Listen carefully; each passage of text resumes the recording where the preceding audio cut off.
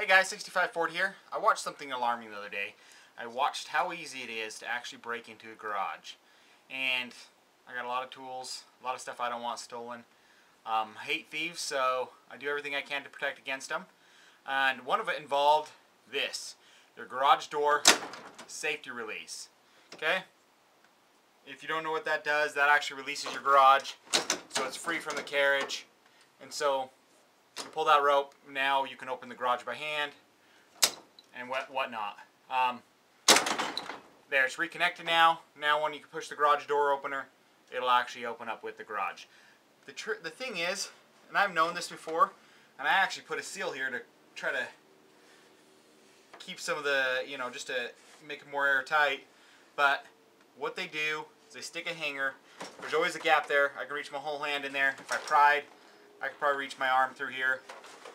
Um, they reach a hanger through here, up here, around here, and pull down. So they just plug a hanger through here, reach it up in here, grab on here, pull it down, garage is released, it's ready to open. Um, they do sell little kits. I have seen people put blocks and stuff around this, but the thing I don't see people doing is they still leave this attached. And even if you put a block around that, you couldn't get that undone. Why can't you just grab this rope, fish this rope out, and pull it through? Mine's big enough where I could pull this whole rope through.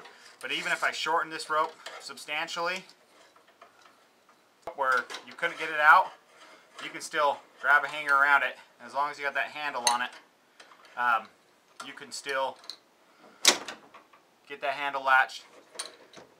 You can still open it. No matter what you do, as long as you still have this handle on here, somebody can reach through there and do it. Um, I do have a good easy fix that anybody can do. First, I've never done this before, but I'm to go outside my garage door. I'm to just wedge this open, let you guys watch. I'm to reach a hanger up in there. They say it takes six seconds to do it. Um, I'm a first timer, so let's see how long it takes me. And then we'll go over how to fix it.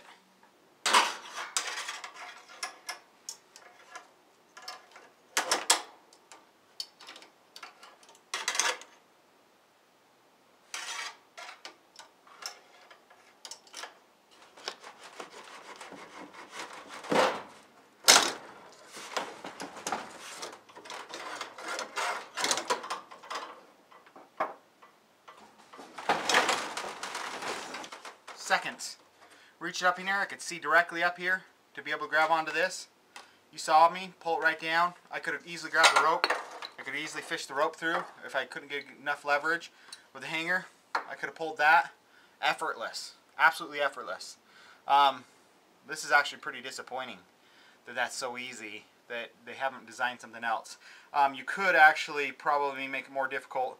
I could take these screws out, move this assembly up, so this was actually moved probably back to about here. Adjust it so that's where it closed. Um, they would just have to use a longer hanger. They might not be able to see as well. But here we go. This is my idea. Um, what I've come up with is something that anybody can do. Um, and what it is, I have roughly a five foot one by two. It could be a two by four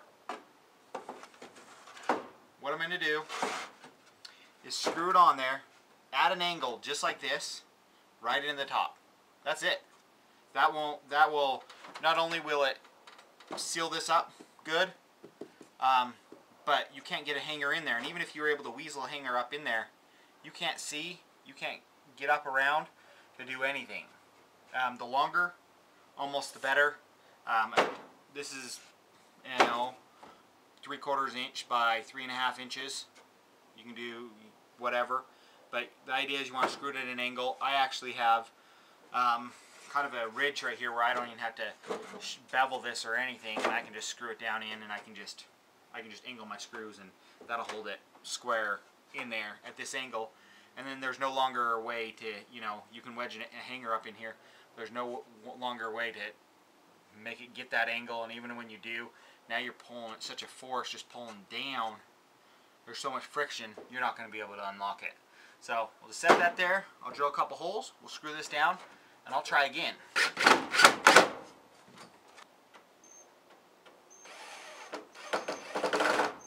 just screw it along. Give you a good view of the angle.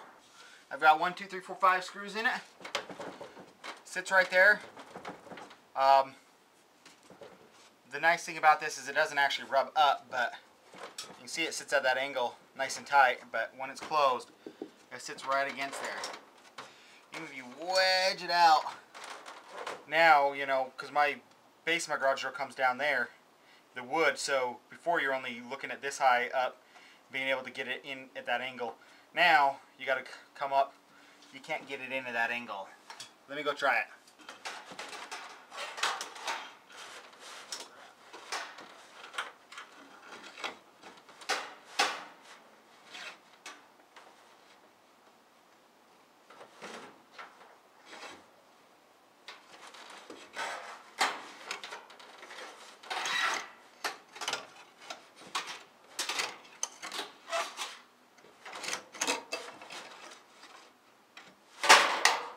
Guys go. I showed you the, the six second video. I won't show you all the 10, well, probably five, seven minutes that I played around with trying to get this. You, you just can't.